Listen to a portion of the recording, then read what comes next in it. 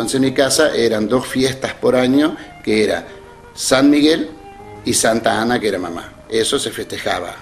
Mamamos todo lo de nuestros abuelos, el idioma, la fe, las costumbres, las comidas, bueno, y también las tradiciones, que lógicamente se fueron perdiendo desde allá, desde la, lejana Alemania, Rusia y América. Por eso a veces se dice de la vestimenta típica de los alemanes del Volga. Y es bastante complicada porque salieron de Alemania, se fueron a Rusia, incorporaron, después vinieron para América y también incorporaron. Entonces por eso acá veías o ella muy poco un alemán del Volga en bombacha o vestido de gaucho o algo por el estilo, ¿no? Tenemos gente que por ahí, no por nada, simplemente por las cuestiones de la vida, en vez de haberse apegado más a sus tradiciones típicas, o se incorporaron a otras. Nosotros, los israelitas, vinimos en 1892. Mi pueblo era perseguido y hasta el día de hoy somos discriminados por nuestras ideas religiosas. Llegué a la Argentina en barco, desembarcamos en la provincia de Buenos Aires y de allí a Villaboy de Ríos. Al llegar no traíamos mucho, equipaje, por lo tanto como, como camas, mesas y sillas. Así fue como aprendimos de las familias criollas, que la cabeza de una vaca no servía para sentarse, que las bolsas de alpilleras no servían de colchón. Aprendimos a trabajar y nos acrioleábamos al paisaje. Asimismo fue... Así mantuvimos nuestras costumbres y tradiciones, como la torta flaca, llena de símbolos, que comemos en las Pascuas. Nuestro fin de año es distinto de ustedes. Nosotros lo festejamos en septiembre. Tenemos varios símbolos, como la estrella de David y el candelabro, de siete velas, que representan los siete días de la semana. Nosotros, los judíos, nos casamos de muy jóvenes. La bendición es dada por el rabino. Somos bendecidos en la yupa, que es el símbolo de una casa con cuatro costados abiertos. los judíos en general somos comerciantes, políticos y profesionales. En Crespo se destacaron varios apellidos, como el doctor Benchisky, junto a ustedes, fundó la Biblioteca Orientación. Otro de los apellidos que se destacaron en Crespo es del doctor Servi y Salomón Ruda, que fueron directores del Hospital San Francisco de Asís. El doctor Feigin, que hizo productos químicos. Las características de nuestra familia es que somos muy unidas y mantenemos nuestras costumbres. Bueno, este, soy Sara Lipchitz de Goldenberg. Em, bueno, mis padres eran Moisés Lipchitz y Antonia Bengelnik.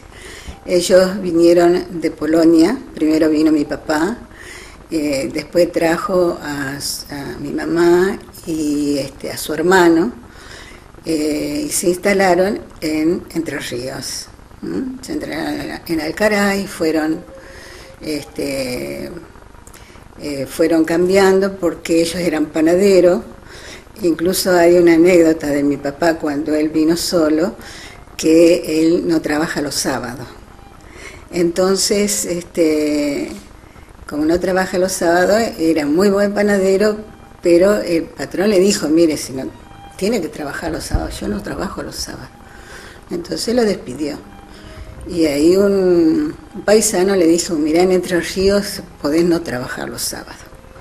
Así que este, se vino a Entre Ríos y trajo al hermano y entre los dos empezaron a trabajar por cuenta propia. Eh, yo tenía un hermano mayor, Isaac, este, una hermana Rosa, este, mi hermano... Eh, se casó y tuvo dos hijos, tres en realidad, uno falleció.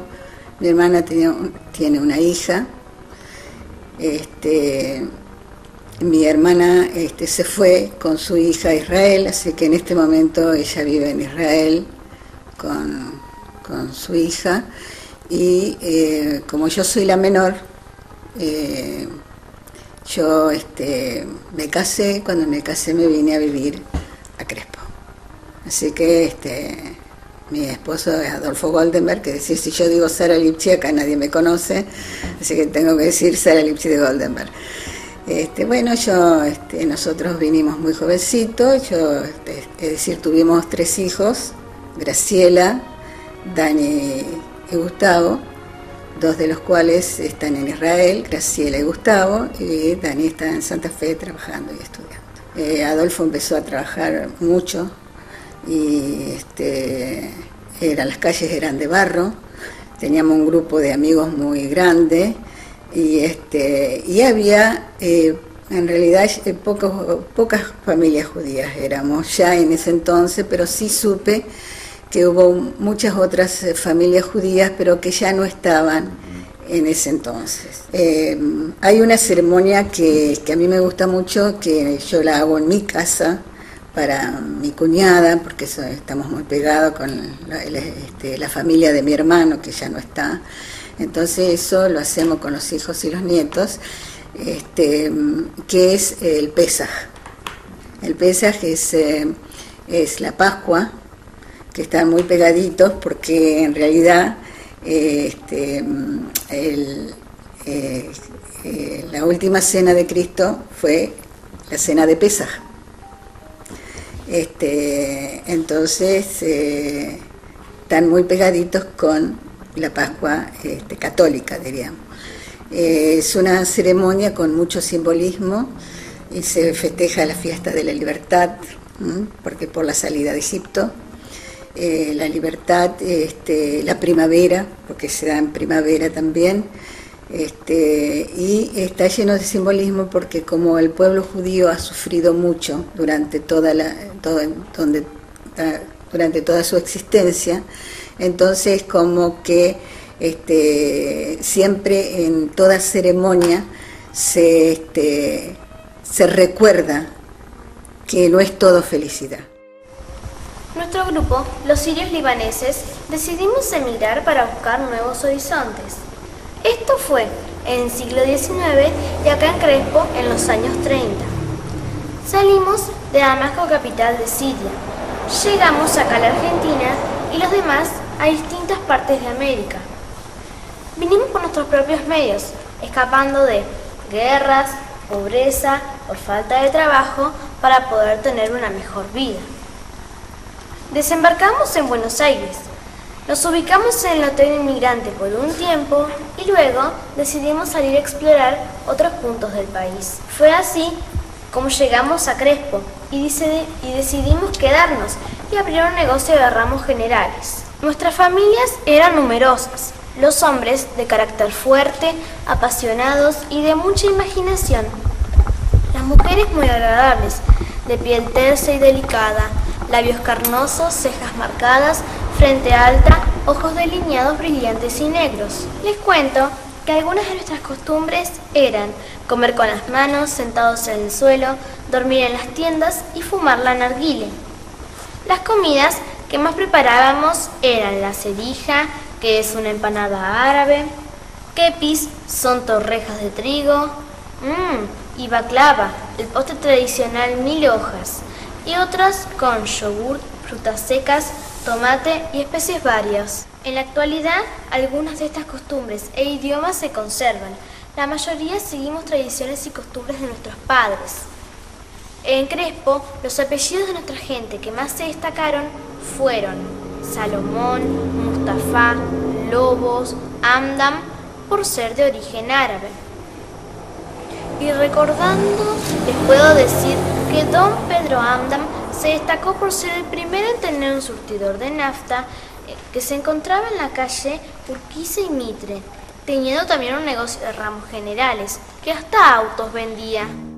Me llamo Manira Amdan, mi papá se llamaba Pedro José Amdan, mi mamá Nacida Sales, Sales, terminaba con H.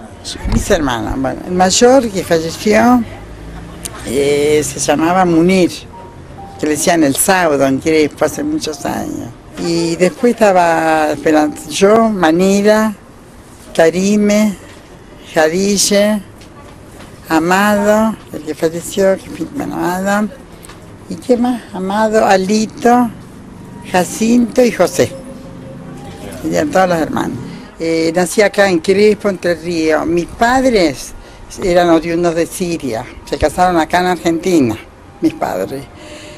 Bueno, se casaron, tuvo mi mamá 11, 12 hijos. O sea que todos hablamos el árabe, las costumbres, aunque estamos acostumbrados acá, ¿no es cierto? Mi padre cuando vino acá a Crespo era una persona muy bien, tenía un negocio grande cerca de la iglesia Santa Señora del Rosario. Él trabajó mucho, vendía hasta autos, todo. Le decían, inclusive en el libro de Crespo, dicen que le decían el turco diente de oro a mi papá. Ella él la conoció en Buenos Aires. Mi mamá vino a pasear porque tenía un tío en la Argentina, vino con mi abuelita y la conoció en Buenos Aires.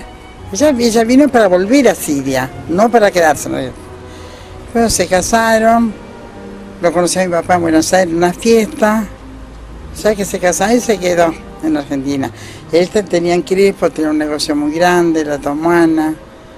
En aquel tiempo, yo le del año, puede ser 29, 30, yo nací en el 31. Nuestra inmigración se produjo en épocas en que Europa se encontraba